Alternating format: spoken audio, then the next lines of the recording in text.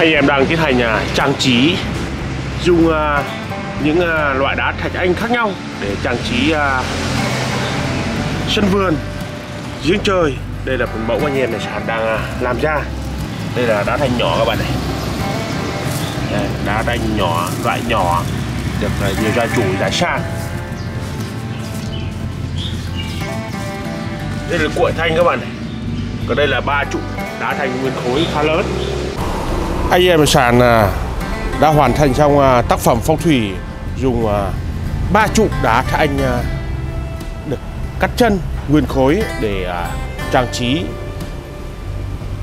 Tác phẩm phong thủy này dành cho các cô, các bác có thể trang trí những khu vực kinh doanh như showroom mô tô khai trương để tạo ra một góc năng lượng năng lượng. Đây là một tiểu cảnh bằng à, đá phong thủy. Dành cho các cô các bác cũng có thể trang trí ngay ở góc nhà góc à, sân thượng hay góc vườn đặc biệt là những à, giếng trời khu vực giếng trời. Những ngôi, nhà nào mà phía sau thấp thì có thể đặt tiêu tiểu cảnh này phía sau nhà để hỗ trợ hỗ trợ về mặt phong thủy cực kỳ tốt hoặc à, uh, giếng trời ở giữa nhà thì có thể đây là góc tiểu cảnh nằm phía dưới đất dưới đất. Mỗi khi à, là trái tim của ngôi nhà ba trụ đá thanh này có thể giúp à, cho ngôi nhà đầy năng lượng và sinh khí. Sinh khí có thể khử các kỳ ác xạ dưới lòng đất đi lên.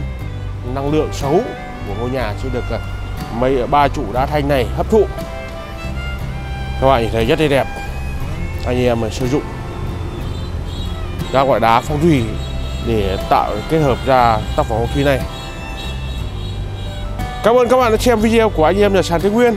Anh em nhà sàn Thái Nguyên à, nằm ngay thành phố Giang Bình Dương cách Sài Gòn uh, 10 km luôn à, uh, luôn chia sẻ về các loại đá phong thủy tự nhiên. Anh em nhà sàn Thái Nguyên xin chào và hẹn gặp lại.